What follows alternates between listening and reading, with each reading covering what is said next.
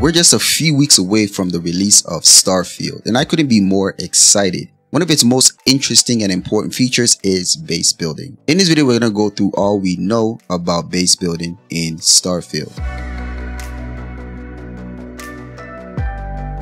When building an outpost in Starfield, you'll use what they call an outpost beacon via the scan mode when planet side. This acts as a base computer, marking the location for your desired base. The beacon does have a radius which designates where you can build, but it isn't clear if there will be varying sizes of beacons. You can establish outposts on any planet as long as there's no previous claims nearby.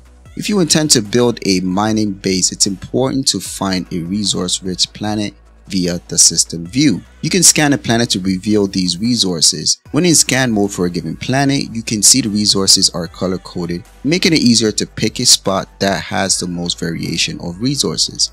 Notice the chlorine and iron. I do not notice any indication of resource concentration as long as you have the desired resource in the spot you select so you should be fine. When deploying your beacon in scan mode, it will confirm the resources available here.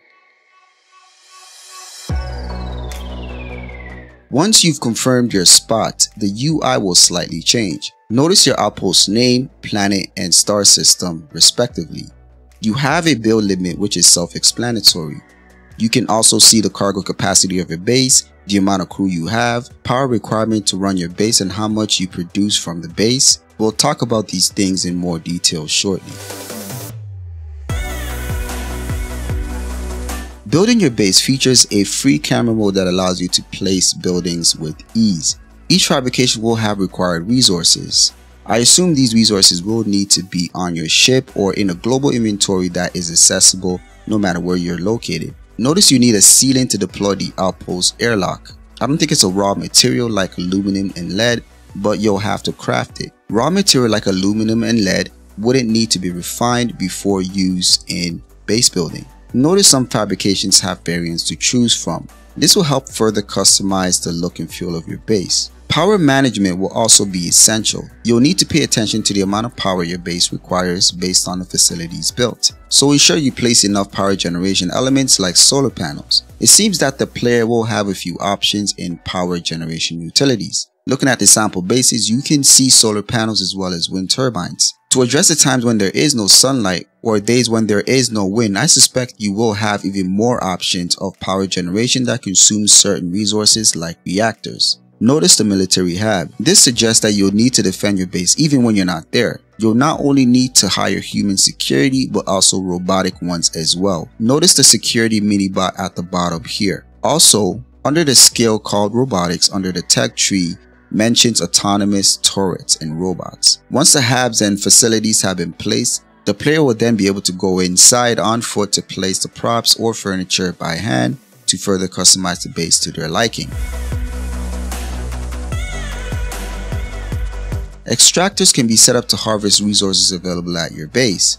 Once extracted, you can manufacture or craft items at your current base or you can set up cargo links between your bases to move raw materials to other bases. I believe this is why we see cargo ships land and take off in the gameplay reveal. I assume the amount of resources you extract periodically is indicated by the production per minute element here. This also suggests that you'll need to build enough cargo facility to allow your base to extract for a while without having to go there frequently.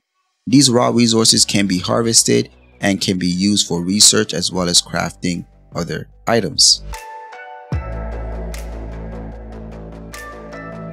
To allow your base to run efficiently, you'll need to fill it with crew members. Each individual has background and traits. You can assign different crew members to tasks such as growing food, managing water, and collecting resources from the planet. Assigning the right crew to a certain station will further enhance the capability of that module. For example, hiring someone who is proficient in science can probably help speed up your research times.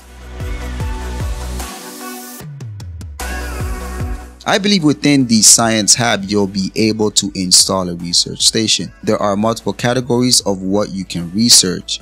Pharmacology, food and drink, outpost development, equipment, and weaponry. Notice there are available projects. There are tech trees behind these and you'll unlock more projects as you discover and research projects. Pharmacology will most likely allow you to research and craft medicines and possibly buffs for your character. Food and drink is self-explanatory. Outpost development will allow you to research outpost fabrications, also enhancements for your base like powerful power generators for your massive base. Equipment will most likely allow you to craft FPS, ship, or possibly base utilities. And you may probably research and craft personal, ship, and possibly base weapons in the weaponry category. This is what we know thus far about outpost and base building. Make sure to leave a like and subscribe for more Starfield content.